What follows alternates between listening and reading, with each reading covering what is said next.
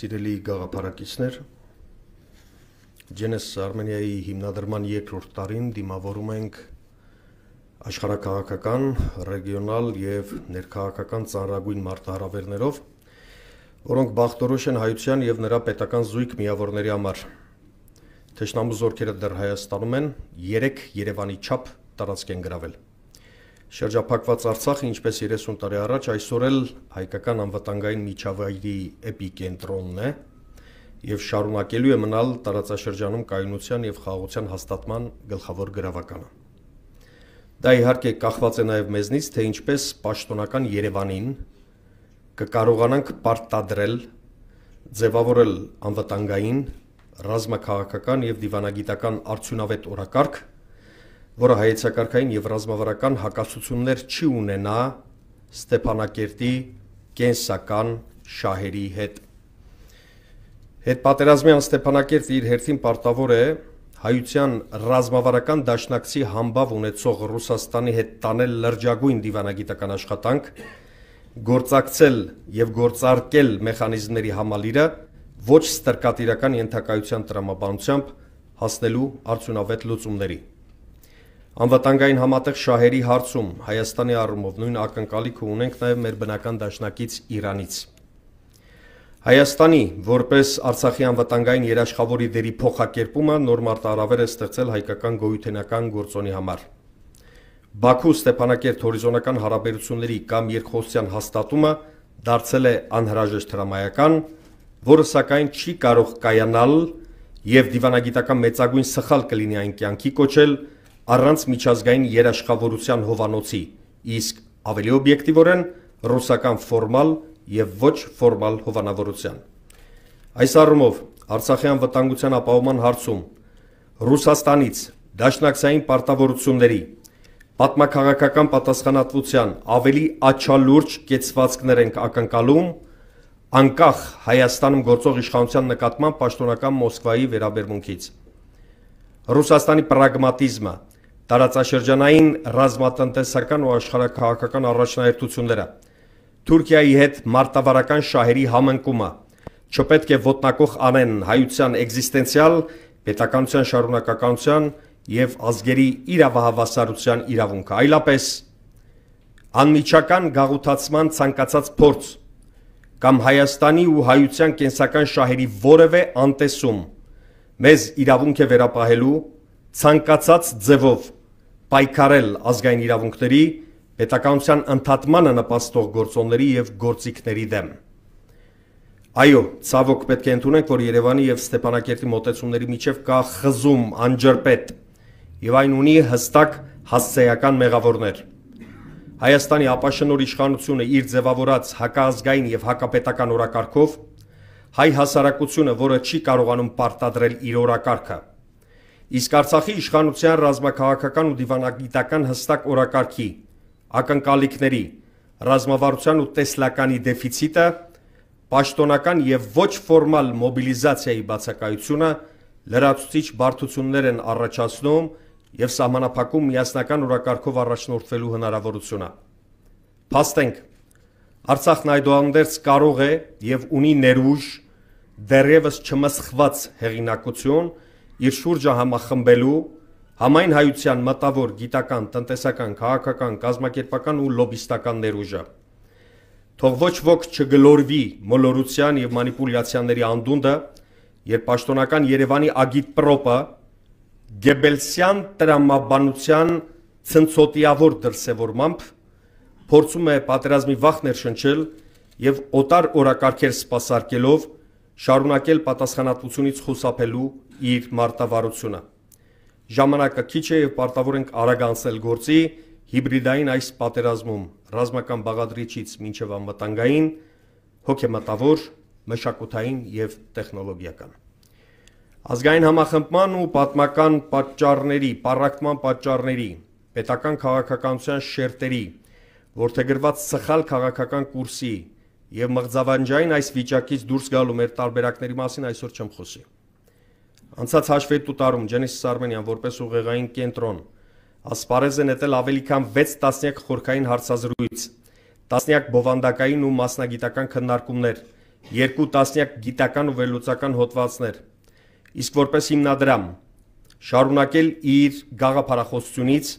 առաքելությունից, արժեքային համակարգից եւ տեսլականից բխող գործունեությունը հայկական ռազմարտունաբերության կարողականության գիտատեխնոլոգիական ներդրումից մինչև փափուկ ուժի կիրառման հնարավորությունների ավելացում։ Իհարկե հնարավոր չէր ավելի պատեհ առիթ գտնել ռազմավարական եւ հայեցակարգային մեր մոտեցումները հասցեական ու նպատակային մեր ծրագրերը ներկայացնելու քան տարեկան հաշվետու ժողովը, բայց այսօր ելույթս կենտրոնացնեմ քաղաքական վերիվայրումներով հարուստ 2022-ի մեր անցած ճանապարհի, առաջնահերթությունների, արժեքային մեր ընկալումների հիմքով գործողությունների հստակ ծրագրի քայլերի հաջորդականության վրա Մանավանդ որ Genesis Armenia-ի անցած գործունեության մասին պատմող տեսաֆիլմում մասնակիորեն ներկայացված է մեր գործունեության հիմնական ուղղությունը հայկական անվտանգության բնագից եւ գաղափարախոսության միջնաբերդ Արցախի վերականգնման գործում մեր գիտամտավոր, մասնագիտական եւ կազմակերպչական համեստ ներդրումը։ Ֆիլմը դիտելու են քիչ անց։ Ստեղծված վիճակի լրջությունը շատերը չեն պատկերացնում։ Գործող իշխանության դիվանագիտական, անվտանգային եւ ռազմաքաղաքական միտքը ամուլ է, փիլիսոփայությունը սնանկ, գործողությունները չհաշվարկված եւ անհերատես որոնք չեն բխում Հայաստանի, Արցախի եւ հայ ժողովրդի ազգային պետական շահերից։ Հանրության շրջանում արժեքային դիսոնանս է, վարկաբանությունն էլ նման պետականություն չունեցող հանրույթի, որն ավելի շատ արդյունք է քաղաքական եւ գիտամտավոր էլիտաների բացակայության կամ հանցավոր անտարբերության։ Ընդդիմությունը, որը նույնպես քաղաքական համակարգի կարևոր մասնիկն է, իր հետևողական պայքարին զուգահեռ համակարգված եւ հաշվարկված լայն կոնսոլիդացիայի չգնալու իր մարտավարական բացթողումների քաղաքական արդի տեխնոլոգիաներին չտիրապետելու հանրային ոչ միարժեք ընկալումների անցյալի ոչ բարվոք ժառանգության քաղաքական հապճեպ սերնդափոխության խարիզմատիկ առաջնորդության ինստիտուտի անտեսման եւ այլ պատճառներով կորցրել է իշխանության հակապետական գործողություններին հակազդելու խորհրդարանական եւ փողոցային գործիքակազմի լծակները ինչն ազատել է իշխանության ձեռքերը պատասխանատվությունից քաղաքացուն դարձրել անպաշտպան եւ անզոր սահմանից մինչև ներսում դատարան մարդու անվտանգությունն ու պետության ինքնիշխանությունը հանել աճուրդի պետական կառավարման տկար եւ գեղչկական մոտեցումների պատճառով էլ մսխել պետականության դիմադրողականության վերջին կաթիլները։ Պատճառների մասին նվազագույն անցած 4.5 տարում մասնագիտորեն եւ բացահայտ խոսել, վերլուծել, հետևանքների դեմ պայքարել ենք փողոցից մինչև քաղաքական զանազան ամբիոններ։ Թիրախային խմբերի հետ տարել հսկայական գաղափարական, քարոշչական, քաղաքական, հրապարակախոսական աշխատանք ճանապարհ անցել մեծ գաղափարակից քաղաքական ուժերի եւ քաղաքացիական ակտիվ ազգային դերակատարների հետ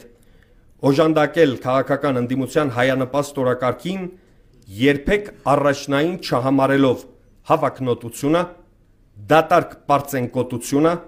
չհիմնավորված ակնկալիքները երասկոտությունը անսխալականության բարթույթը ինչն էլ արդարացիորեն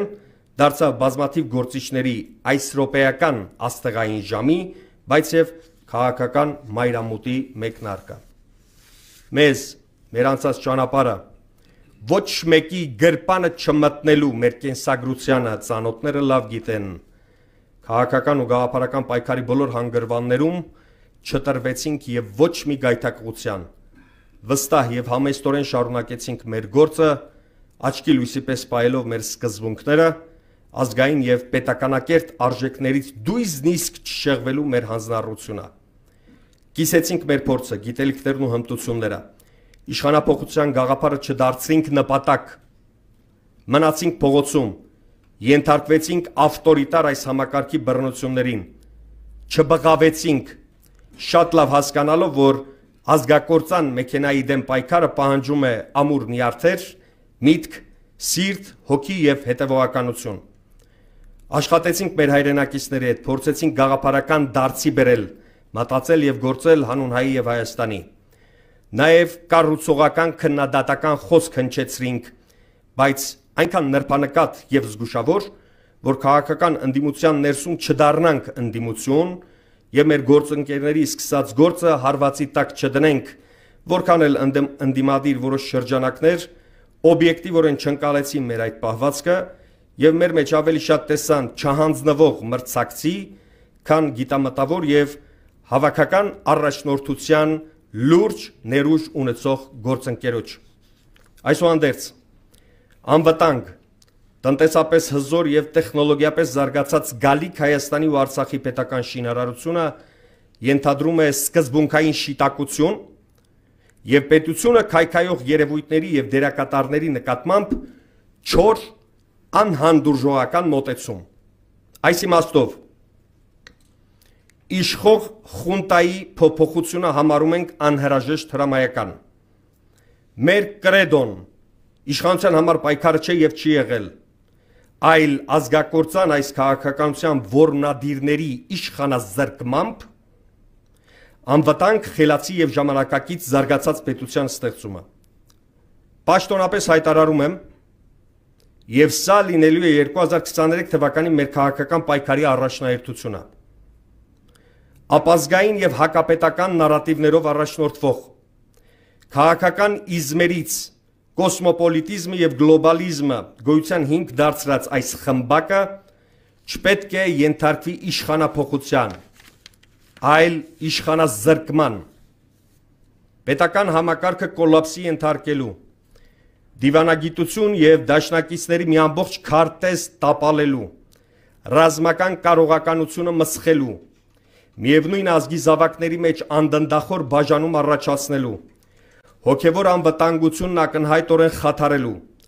Հայաստանը թշնամական երկրների հետախուզական եւ անվտանգային օրակարգերի սպասարկման բաց դաշտ դարձնելու համար հակա Հայաստանի համար աշխատող Բաքվի եւ Անկարայի օրակարգերն սպասարկող այս խմբակը հստակ հասցեական Նիկոլ Փաշինյանի նրա քաղաքական եւ քարոշչական համհարզների գլխավորությամբ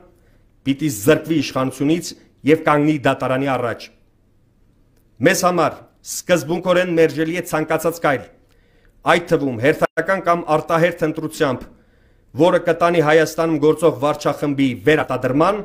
փոխակերպման, նրա փխրուն լեգիտիմությունը վերակենթանացնելուն։ Իշխանությունը ձևավորվել է փողոցում եւ փողոցի միջոցով, փողոցային բարքերով եւ տրամաբանությամբ պիտի հեռանա համաշխարային քաղաքական օրինաչափությամբ, ապստամբությամբ, փողոցի հուշկու ճնշմամբ։ Կարևոր մեկ ընդգծում։ Այս գործընթացը հնարավոր է ավելի արագ եւ արդյունավետ կազմակերպել, եթե մեր հետևողական ճնշման ազդեցությամբ մեզ միանա կոնտր էլիտան, անհատներ եւ ուժեր, որոնց մեկ մասը գործող իշխանությունում է, բայց եւ դեմ է գործող պատոասի եւ խունտայի պահպանմանը։ Մեր հասարակությունը պարակտելու իշխանական գործելավոճը սևեր սպիտակներ խաղալու տհաս եւ հակապետական մտածողությունը մերը չէ։ Մեր գաղափարները չկիսող հայրենակիցներին անվանարկելու փոխարեն նախընտրում ենք տքնաջան աշխատանքը, չմեծամտանալը, սեփական սխալներից սովորելը, ուրիշին լսելը, պրոֆեսիոնալ մոտեցումներով առաջնորդվելը, հերատեսությունը կարճ ժամանակում արդյունքի հասնելու բանաձևերը մարտավարական հստակ քայլերով թիրախային հստակ լսարանի հետ հետևողական աշխատանքը այդ ամբողջը իրականություն կդառնա եթե դեն նետենք համազգային պայքարի նեղ կուսակցական հովանոցը եւ ինչպես ասել եմ բազմիցս անցնենք համահայաստանյան լայն քաղաքական կոնսոլիդացիայի ճիշտ օրակարգով եւ այդ օրակարգն առաջ տանող հավաքական առաջնորդությամբ։ Անձակենտրոն պայքարը անհատի ֆետիշացումը երբեք չի բերի միջնաժամկետ եւ երկարաժամկետ հաջողության։ Ոստիև 2023-ը լինելու է մեզ հայության եւ հայկականության Հայաստանի ու Արցախի մասին մտածող ուժերի գոյության կամ հակառակը քաղաքական, գաղափարական եւ կազմակերպական սնանկացման տարի։ Անցնում ենք առաջ, մշակում ենք խելամիտ ռազմավարություն, հստակեցնում պրոցեսի մարտավարական, քարոշչական, հրաապարակախոսական, գիտամտավոր թեզիսային քայլերը եւ առաջնորդվում դրանցով, հասկանում եւ ելուցական դաշտ բերում ընդհանուր խոսույթի դետալները, թարմացնում վերափոխում բովանդակությունը։ Սա նշանակում է քաղաքական ուժերի գործակցային մարտավարության ворթեգրում, որը կհենվի համակարգված քայլերի եւ պատասխանատվության մասնակցային սկզբունքի վրա։ Այս նպատակի իրականացման ընթացքում Genesis Armenia-ի թիմին դուք տեսնելու եք առաջնագծում քաղաքական միտք եւ խոսք գեներացնելիս վարչախմբի թրքաբարո եւ հակազգային թեզերը մերկացնելիս, իր խոսքի եւ գործի համար պատասխանատվություն ստանձնելիս, անշեղորեն պահելով իր բարոյական կեցվածքներն ու արժահամակարգը համամարտկային, ազգային եւ պետական մակարդակներում։ Այս առումով հայտարարում եմ. Genesis Armenian 2023 թվականին ստեղծելու է քաղաքական քարոշչության ազգային գիտամտավոր ներուժի ինքնադրսևորման, վերլուծական եւ տեղեկատվական խիզախ եւ պրոֆեսիոնալ լայն հարթակ, որտեղ մեր ազգային ու քաղաքական տեսակը կկարողանա այս ցածկատախտակը գործածել իշխանությունից զրկելու թերուսների գործող խմբակին, որի նկատմամբ հանրային կարծիքն ու մոտեցումները փխրուն են, ծանրակշիռ այլ ընտրանքի բացակայության պատճառով։ Սիրելի հայրենակիցներ, քաղաքական աշխարհը այսօր գնում է պետությունների եւ անդրազգային կորպորացիաների ազդեցության եւ շահերի գոտիների նոր քարտեզագրման։ Իրաքից մինչև Սիրիա, Ուկրաինայից մինչև Բալկաններ, Չինաստանից հարավային Կովկասով դեպի Եվրոպա, ավելի པարզ Մերձավոր Արևելքում եւ Եվրասիայում տեղի են ունենում գեոպոլիտիկ տեկտոնային շարժեր, փոխվում է աշխարհի անվտանգային ճարտարապետությունը։ Հայաստանն անցած 4 տարում գործոնից դարձավ գործիք։ Շնորհիվ անճարակների մի իշխանության, որը չգիտի հաշվարկել, կարդալ, ընկալել համաշխարհային մոտեցումները, չի ճանաչում հարևան եւ ճշնամի պետություններին, կամ էլ լավագույն դեպքում դպրոցական դասագրքերի մակարդակով,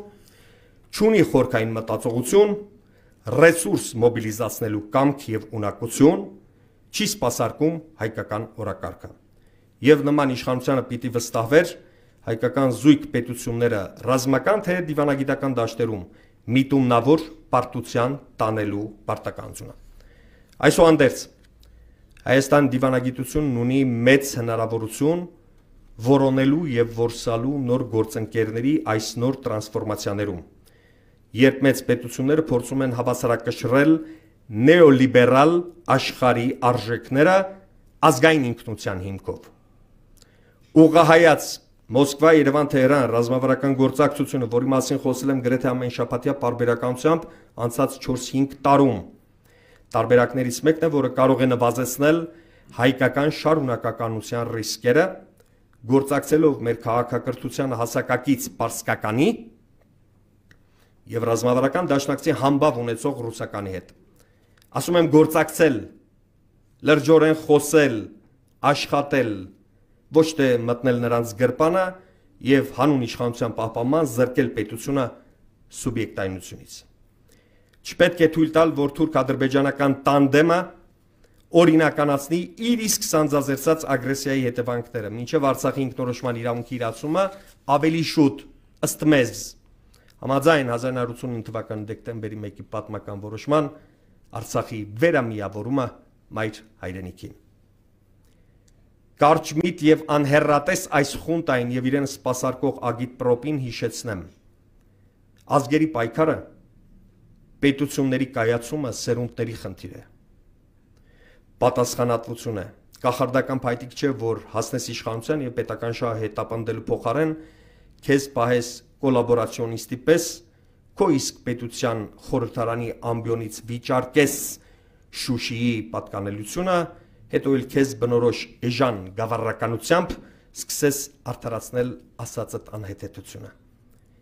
Հայաստանի արտաքին քաղաքական օրակարգը պետք է ներառի ոչ թե ռեալ պոլիտիկից կտրված ամորֆ վերնագիր խաղաղություն, այլ հայկական գոյության վտանգները չեզոքացնող հստակ գործիքակազմ, ցեղասպանության եւ հայրենազրկման հետևանքով մեր ազգային անժամանցելի իրավունքները երբևէ վերադարձելու հանձնառությունը Օրակարգը հենց սա է։ Ոչ թե թշվառի հոգեբանությամբ եւ գաճաճ մտքով խաղաղություն մուրալա։ Ազգային արժանապատվության պահպանումը դիվանագիտության ողնուղեղն է, որքան էլ կոսմոպոլիտ այս իշխանության ներկայացուցիչների ուղեղներում դաջել են, որ հայրենիք, ազգ, պետություն, հայ, եզրույթները մոդայիկ չեն, մոդայիկ է միայն քաղաքացի բառն ու Հայաստանի Հանրապետություն եզրույթը, որը հոգևոր եւ տարողունակ Հայաստան աշխարհի ընդամենը իրավական ինստիտուցիոնալ արտահայտությունն է։ Խաղաղության հաստատումը կարող է լինել միջոց, ոչ թե նպատակ, այնպես ինչպես ժողովրդավարությունը չի կարող լինել բրենդ, դա միայն տգետները կարող են ասել, որոնք կտրված են մեր գեոպոլիտիկ իրականությունից։ Բովանդակային առումով այս խնդիրների մասին պետք է խոսի էլիտան, բայց ոչ իշխանական, այլ հանրային, որն արտաքին քաղաքականության ձևավորման եւ մասնավորապես Թուրքիայի եւ Ադրբեջանի հետ հարաբերությունների հարցում կձևակերպի գրագետ, խելամիտ, ազգային պետական շահը գերադասող կիրառական օրակարգ, որն իր հերթին կունենա պրագմատիկ բնույթ, ազգային էություն, պետական շահի միջնաժամկետ եւ երկարաժամկետ հաշվարկ։ Հանրային էլիտան միայն այդպես կզսպի կույր հակաթրքականությունը եւ կզրկի տգետների այս իշխանությանը ճապախ մտքեր արտահայտելուց եւ ճամարտակելու հնարավորությունից։ Ազգային ռազմավարություն է անհրաժեշտ, որը գրելու եւ կյանքի կոչելու համար պիտի ապահովենք ազգային մարտունակություն։ Դա ենթադրում է ազգի ներքին ուժերի տեսակավորում, ազգային կապիտալի ամրապնդում։ Ներուժը մեր քաղաքական, ռազմական ու գիտամտավոր կարողականությունն է։ Իր բարոյական դիմագծով, կազմակերպական կառուցվածքով, ցանցով, կապերով եւ ավանդույթներով ազգայնացած հայ եկեղեցին է, որը հանուն հայի եւ Հայաստանի իր դարավոր կենսագրությունը դարձյալ պիտի ծառայեցնի հայ ժողովրդի քաղաքական նպատակների իրականացմանը։ Հայը քաղաքական միտք, կարողություններ, դիվանագիտություն խաղալու որակներ ունեցող, նպատակասլաց, համամարտկային արժեքներին հավատացող, դրանք հարստացնող եւ տարածող ազգ է։ Ունենալ անկախ պետություն բավարար չէ, անհրաժեշտ է այն պահել տքնաջան աշխատանքով, զարգացնել անսակարգ նվիրումով։ Մեկ անգամ չէ, որ ընկել ենք եւ ջարդվել։ Էականը չընկրկելն է, չվահատվելը, չհանձնվելը, հարմարվողականությանը գերի եւ ստրուկ չդառնալը։ Մենք, մեր տեսակը, մեր գաղափարակիցները Հայաստանն ավելի բարձր ենք դասում ամեն ինչից եւ ամենքից։ Այս գաղափարով ապրող իրավունք ունի ընկրկել, վհատվել, կիսատ թողել պայքարը։ 2023-ին առաջնորդվելու ենք հենց այդ հավատամքով եւ ընդունելով, որ այս պայքարի պատասխանատվությունը պիտի կիսենք սերունդների միջև։ Պայքարի բոլոր փուլերում ակնկալում եմ մեր ժողովրդի զավակների ակտիվ մասնակցությունը։ Գործող իշխանության տնակը թղթից է։ Կրկնում եմ, թղթից է։ Թիմի ներսում ունեն կոնցեպտուալ լուրջ հակասություններ։ Տիրում է 37 թիվի հիշեցնող փոխադարձ տոտալ անվստահություն։ Կա արհեստավարժ կադրերի մեծ արտահոսք։ Բավարար է կազմակերպված ազգային բուրժուազիայի հետ համակարգված հավաքական ճնշում եւ իշխանության վարած հակահայաստանի կուրսը կլինի ազգային ուժերի ոտքերի տակ։ Հայաստանը պիտի վերադարձնենք տարածաշրջանային գործոնի երբեմնի համբավը ինչը հնարավորություն կտա դաշնակիցների եւ միջազգային հանրության հետ խոսել ավելի լուրջ դիրքերից եւ զսպել հայկական գործոնը մանրադրամի պես խաղարկելու ողորմելի մոտեցումը։ Ես հավատում եմ ազգայինի հաղթանակին։ Հավատում եմ մտքով, հոգով, սրտով։ Ջենես Սարմենյան, մեր բանակի եւ ազգային պետական տեսակի tic un kine. Pindarek.